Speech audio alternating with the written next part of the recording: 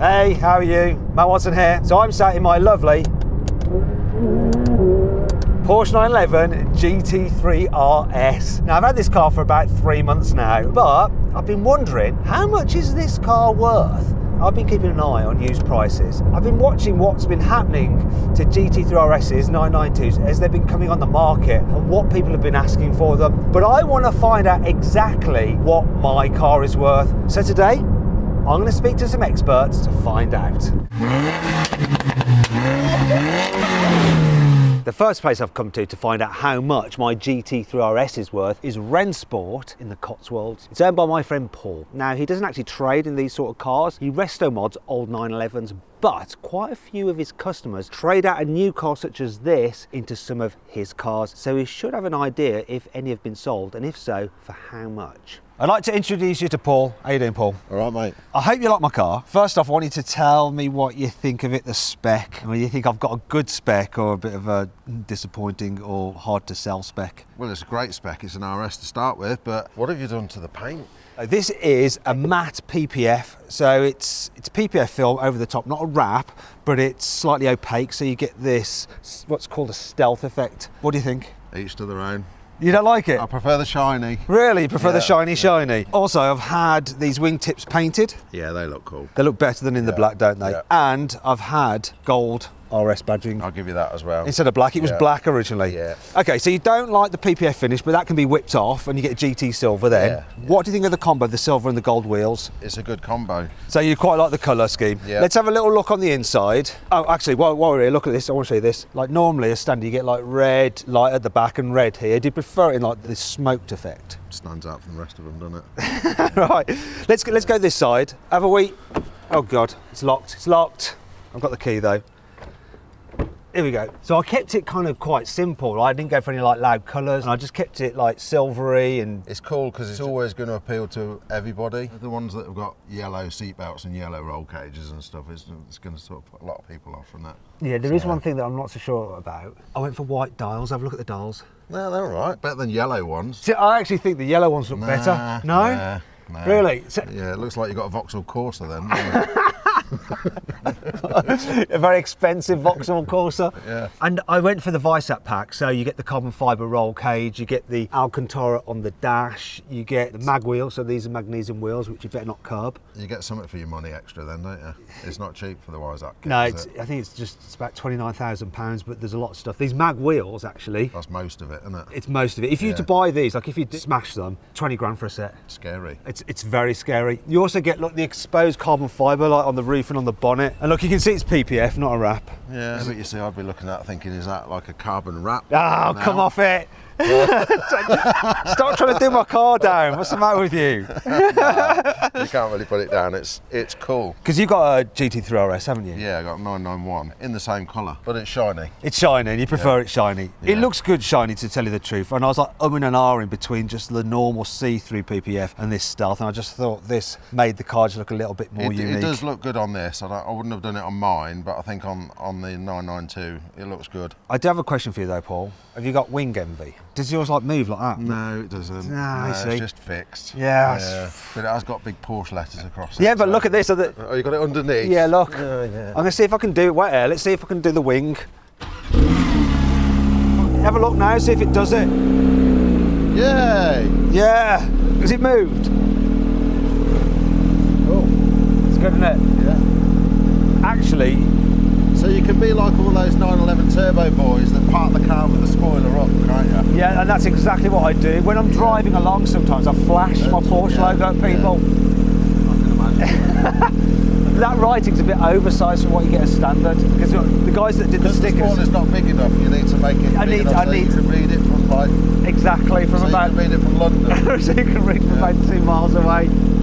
Right. It's a great sounding car. Does yours sound better? Yes. Because your car. one sounds better. And the reason for that all is- those silly emissions things going on. Yeah, you don't need to worry about the emissions so much. So what year's your car? 2016. When it was new, roughly, any idea what it cost? It would have been about 165,000 at the time, I reckon. And how much did you pay for yours? 159,000. So it's kind of like held its value. And how many miles has it done? It's done 9,000. 9,000? Yeah. Right. So it's the same price as it was eight years ago.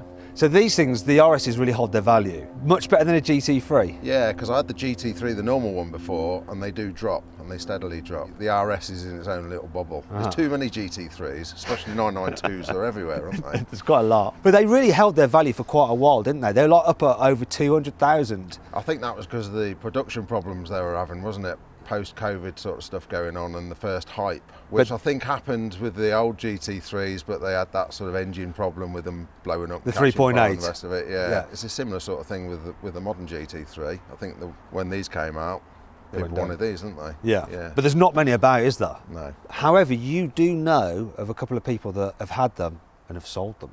Yeah. Because you see lots of different like prices on the internet and so on and so forth, but it's what you can actually sell it for, isn't it? Yeah, it's all very well seeing cars for sale for 420, 450 grand, but Uh-huh. is that just for sale to keep the wife happy because she's told him to sell it? Yeah, so he's got this theory, right, Yeah. that people put Which- them up for sale that just because they, you know, that their other half is not happy that they've just spent a load of money on a GT3 RS. I can't relate to that, obviously. uh, and so they put it up to sale, like they're trying to sell it, but they price them a bit high so that, so yeah, it doesn't to actually make sell. money out of it. Yeah. yeah. And they don't. But No. you know someone has sold a car to buy one of your cars. What did they sell it for? Sensible guy, you see. I went for something He older. sold it for 400,000. And that was quite recently, wasn't it? Yeah. So 400 grand actually paid. And what spec was his? His was a similar spec to this one. Was it silver? I think it was black. What do you think of the black ones? I wouldn't buy a black one because my favourite colour is silver. So it's, it's, a, it's a personal thing, isn't it, really? So 400 grand sold. How many miles had it, had it done? He hadn't done any. Oh, so it was pretty much like. yeah, I think it had done like what you've done, 500 miles. Oh, okay, so not even running Yeah, yet. So no. similar, so similar car, quite recently, actually sold 400,000 in black. Was it a Weissach car? I imagine it was. It was, yeah. The only worry a lot of people have selling them for that much money is you're never going to get on the list again, isn't it? He's not bothered. He's buying one of our old cars. so now he's gone for something Now he's- classic. Now he can afford it. One day these will be classic, won't they? the way you've got to look at it is even in sort of 10 years' time, it's still going to be the same price as what you paid for it now. So that's a pretty good investment for any modern car, isn't it? Now, before I go and speak to a real expert in valuing cars, such as my 911 GT3 RS, because he buys and sells supercars for a living, I need to tell you something about my car. You see, if I run a car vertical report on it, something you should do if you're thinking about buying any used car, you will see that it has outstanding finance. Obviously, I didn't have £220,000 spare to buy it outright, so I bought it on finance. It's the same thing with my GR Yaris, even though it was a lot cheaper. I've run a car vertical report on that, and you can see that the only flag is the fact that it has outstanding finance. Now, Car Vertical can check for other things as well, whether the car's been stolen or been damaged. For instance, here's a report on another GR Yaris which has been in an accident, and you can see photos of it after the accident before it was repaired. Another thing you can check with Car Vertical is if the car's mileage has been wound back. Here's a Vauxhall Astra which has obviously had its mileage wound back. Oh my gosh. Also, if you look closer at the report, it's also listed as being damaged in the past. That is one car you definitely wouldn't want to buy. Now, to make sure that you don't make a mistake when buying a used car, go to Car Vertical, right, and use the discount code Watson for 10% off. I've put a link in the description and the pinned comment. In fact, if you bought a used car and you didn't do a car vertical check on it, maybe you should do one now. Just to be sure. Now, if you want to do that right away, just click on the pop out banner that should be appearing in the top right hand corner of the screen to go to Car Vertical. Now, let's get on with the video. I've now come to Phillip Island Performance Cars in the Cotswolds. Now, Phil is a car dealer. He deals in prestige and supercars, and his business is buying and selling cars such as this. So, if anyone knows the true value of this car, it's Phil. This is Phil. How you doing, Phil? Very good. How are you? Yeah, I'm good. A little bit nervous about what you're going to say about my car. Oh, really? We've got it here in part of your showroom. Yep. And we've got some other cars here. So it's a McLaren 600 LT, right? Yep. What's that up for at the moment? That sold for 150. 150. What have these been like? What would they list? About 250? They've dropped. Obviously, the whole market's suffering ever Uh-huh. since interest rates. So prices have come down across the board. I think there's signs that there is uh, some improvement in the market because we've sold a few recently. Really? Okay. Yeah, which is nice to see. This one, probably 95 that's up for. So we've had a lot of inquiries on that. It's One a 570 GT. that's a 570 GT MSO collection, so one of a 100. What are McLarens like? How have they fared in the market with like interest rates going up, like you say? I think it's the same across the board. I mean, McLaren's always been not the easiest. Saying that, we've always done really well with McLarens. So if we get McLarens in, I sell them quite quick. 765 LT Spider, I think I've sold that. So you've got 765 LT, Yeah, upstairs. Okay. Yeah. right? And that's an XP, so one of three prototypes. So what was that price? Uh, that's up for 375. 375. But did they come down as well as part of It would have come down, yeah, everything across the board's come down to be Porsches? How have Porsches fared? fair. Porsche's always great for residual. Okay, are they better than McLaren? Oh, yeah. hands Oh down. yeah, that's what we like to hear. Okay. Hands down, yeah, they are. I mean, the thing is with the, the 3RS, though, I think obviously when they started coming to market recently, dealers lost their nerve too quickly and started reducing the price. When did you buy this one? September. That, that's when it arrived. I actually spec'd it way out in February. It's supposed to have it in June. Yeah. It got delayed. I think it might have been delayed just because of the Race-Tex sun visors. That's what it was. I'm not entirely sure. There was that, and they're waiting for that bit of trim to Yeah. complete it. And then there was a holiday at the factory in August, which yeah. delayed it again. So I got it in September, and I've had it about three months. I remember when I was waiting for it to arrive, I saw some prices. They're like almost half a mil. I was going to say probably around that time, about 450. Uh-huh. So then we ours we had for 450, and then we reduced to 420. But then obviously more came to market, and the prices were being driven down by the dealers. And the trouble is, you have to follow suit almost. Yep. There's still not many about, is there? There's not a huge amount, no. We got a black one. And when that came, just three days before, another dealer listed one, and it, I was I was so annoyed because I was just thinking, literally that three days when the first black one to market, because it was the first black one to market, as far as I'm aware, and it was Weissach as well, so that went to market, and I think that probably sold a lot quicker than ours did, but ours is now sold. Right, we'll come on to that in a moment. You've got these here. Upstairs, you've got a 765 LT, you said, Yeah. which is sold. What other cars have you got Not upstairs? quite sold. I think you've sold. Oh, okay. it. You think you've sold So uh, hopefully he's watching this, and Okay. he, he would have bought it by then. There's an Aston Martin DB11, 488 GTB, SF90 Stradale. How's nine- the SF90 done? No comment. Not great. Not amazing. what were they, like 400 grand? I mean, 450. It depends on the spec. It- They went down and they came back up. They're kind of, I think, fixed around the 400 at the moment. What's a bad supercar that people have bought and they're like really do tank? Probably a GT Silver 3RS 992. Shut up. so Ferraris, have they held their value better than McLarens? It's all plateaued uh, because obviously the interest rates. Uh-huh. So this year, especially last six months, you know, it has been quiet. I have seen a turnaround recently in the last couple of months where you know people started spending more money, and I think what's going to happen come spring, people are going to have held onto their cars for longer when they normally change once a year. The interest rates have come down a, a tiny bit, so I think yeah, next spring is is a time when we'll see another surge. So it could sales. bounce up again. So what? This could be a Uh, low point. I don't I don't know if it will bounce back up. I think the cars will probably remain where they are. Okay. But I think people are going to just accept the fact that the interest rates are what they are. Right, so let's get on to my car then. So, Yeah. what I'm going to get you to do first of all is I mean, you'll probably recognize what specs on it, but point out some things that might go against it and things that will go in its favour when working out the price on it. What I would say would go against this the decals you put on it. I'm sorry to say. They look cool. What's wrong with the gold decals? They- do, you know, do you know told me to do them in gold? Who? Andreas Preuninger. He knows And did he you these end caps? He told me to do the end caps. Yeah. The end cap definitely looks better. Yeah.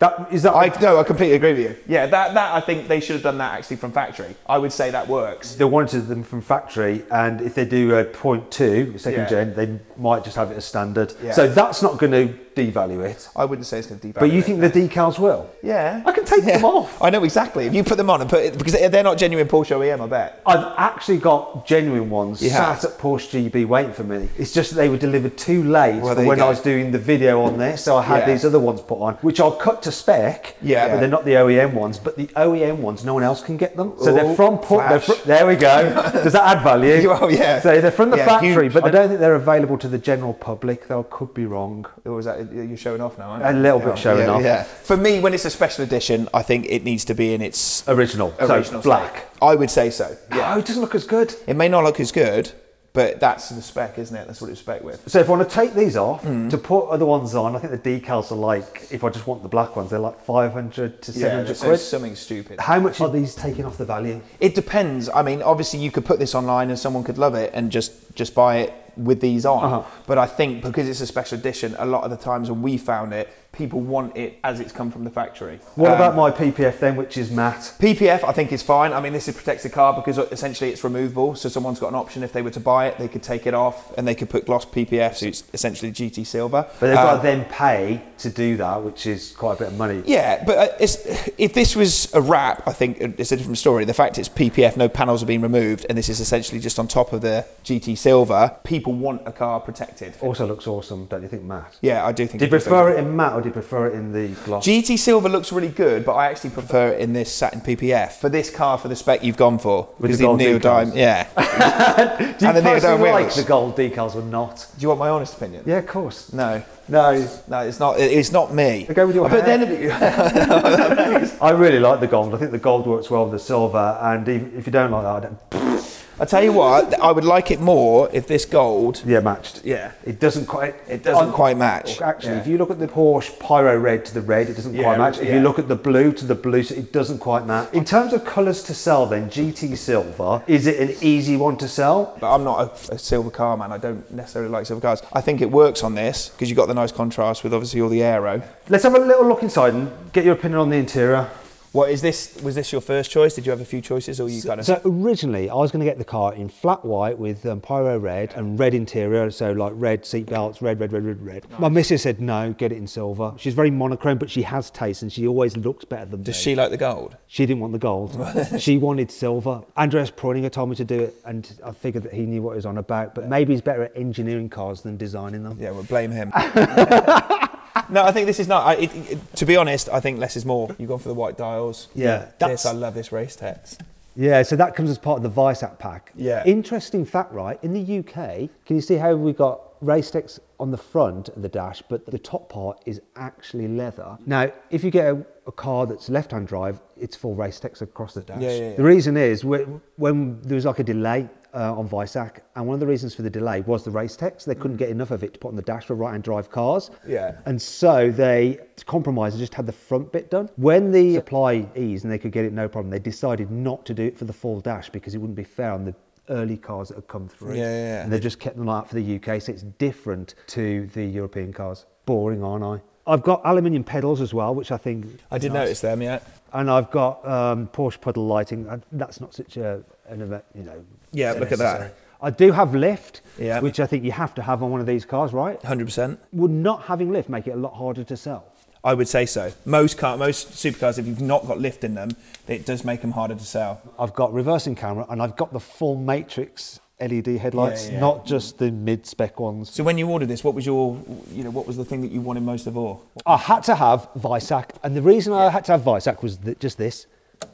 Is that it? Not the carbon bonnet and the roof and stuff. I don't actually like the carbon bonnet so much. No, so this is another thing that Andrea said. I should paint it. But I think you, I think it's the Weissach is, is the one. Obviously, you'd always Yeah, you have to have the Weissach. You get the mag wheels, carbon fibre suspension bits, carbon fibre roll cage. Mm. Right then, before you give me a value on this, Yeah. let's have a look at the black Conga you've got, because I want to make sure that I chose the right colour. Oh, here we go. Yeah, watch this. I'm a little bit nervous that I'm going to prefer it than mine. Ooh. Initial thoughts? It's black, it's very black. the plastic at the front doesn't look so bad because it blends in with the bodywork. But the plastic bits down the side, like the spats, don't stand out quite as well because it's black. So it's mm, the Weissach element, the um, carbon fibre bonnet doesn't stand out quite as obviously on my car. But in some ways, I prefer it on the black car because it's not so high contrast. Would you put gold decals on the side of this? I think it would look wicked with gold. I actually really like it. It's a tough one because I, I thought about black, but I've seen a black with red, pyro red, and red decal. I really like that. I'd, I'll pick out something I don't like first of all. I didn't have the quarter lights tinted on mine. I think it looks weird when you've got this just normal transparency, then that's like darkened out. But other than that, it, it looks pretty much the same spec as mine. You know, I really like it in black. But I think with the stealth effect, I'm going to say this on, I'm not going to say I don't like mine as much, but that looks meaner. But that is sold now, Okay. so you can't have that. I can't. we could have done a swapsy. Yeah. Um, yeah, I do really like that. Ah, it's tough. If I'd gone for a basic car, Yeah. what are they going for? Do you think? A basic car. Yeah, one without Weissach, one without carbons. What are they? Probably normally 50 under, aren't they? Okay, 50 less. I would say so. Okay. Uh, and it's ceramics is optional on these, aren't they? Yeah. So you, you waited for that. Yeah. For the uh, for the Too right. Yeah. You've got to have ceramics on this car, right? Well, especially if you're looking to keep this. yeah. So let's come back to mine then. I want you to tell me what you think I could get for this. As it is, as it is like this, or would you? you I you- can put the decals back on, you know, if it's going to Yeah. make it easier to sell it. I can do that. 750 quid, it's not a, not a problem. I'd still list this for 385 probably. Well, there's definitely profit in that. Yeah. that price with like it's almost 500 miles, 450. Does it matter much with the mileage difference? Like from two, like what's that got on it? Delivery, that's 19 miles. So I think it does make a difference. Massive. When- depends what someone's looking. If there's someone's looking to buy it for an investment and just put it into a collection and Yeah. not really drive it, then yeah. But if someone's looking to buy it to use, it depends on, on what you're buying it for. If you go over a thousand miles, is that quite a? I would say because thousand, obviously you need a thousand miles to, to break it in. Yeah, so it's not broken in yet. One of these now, if it was 1500 miles, let's say, probably I would be saying to you 370, 375. Okay, so not the end of the world if you want to get out and enjoy the car. But for this one here, 385, the value of this. If I change the stickers, if I don't change the stickers, Four euro fifty. 380 with the stickers, Uh, to be honest, I, it depends. Someone might love them as much as you. 390 with the stickers. But I don't think you're never, you're never, never going to be in a position where you're going to be worried about losing. I'll never lose money on this. I don't think not for the next five years. No. Well, there you go. Thank you very much for your time, Phil, for talking me through like the various kind of prices on these cars and what works and what doesn't work. Three hundred and eighty-five thousand pounds. I think it's worth every penny. But then I would say that, wouldn't I? Anyway, I hope you enjoyed the video. If you did, give it a like. Click on my little face, not this face, the other face, to subscribe, and click on the video windows to watch some more videos. Thanks for watching.